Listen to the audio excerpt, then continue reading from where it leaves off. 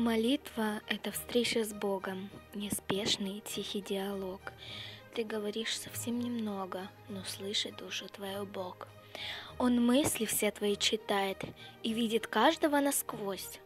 Без слов тебя он понимает. Вопрос-ответ, ответ-вопрос. Ты без прикрас, душа нагая, и не слукавить, не схитрить, молитва — это жизнь другая, и без нее нельзя здесь жить. Перед Вселенной ты в ответе за каждый звук, за каждый слог. Нельзя бросать здесь слов на ветер, тебе внимает мудрый Бог. Молитва – это жизнь, общение с Богом, неспешный, тихий диалог. И говорить не надо много, без слов все понимает Бог.